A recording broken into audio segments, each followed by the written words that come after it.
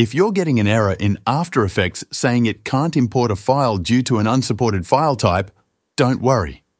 This is a common issue that's usually caused by After Effects not recognizing the format of your video.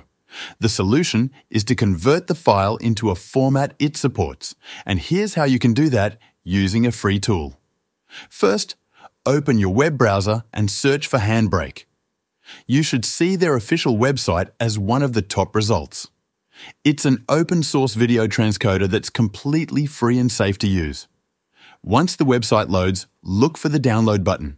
Click it, and the installer will start downloading to your computer. When the download is complete, go to the folder where the installer is saved and double-click to open it. Follow the installation prompts.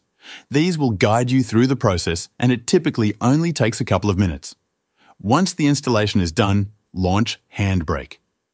Now, let's fix the issue with your video file. Drag and drop the problematic file into Handbrake.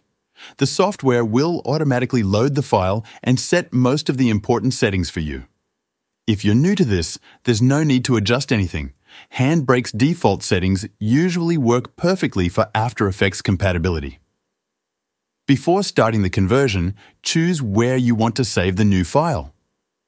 Look for the Browse button, which lets you select the destination folder. Once that's done, click the Start Encode button at the top of the Handbrake window. This will begin the conversion process. Depending on the size of your video, this might take a few minutes. You'll see a progress bar, so just wait until it finishes. When it's done, go to the folder where you saved the converted file. Now try importing this new file into After Effects. It should work without any errors. That is it. That's how you can fix After Effects' unsupported format error. Thanks for watching.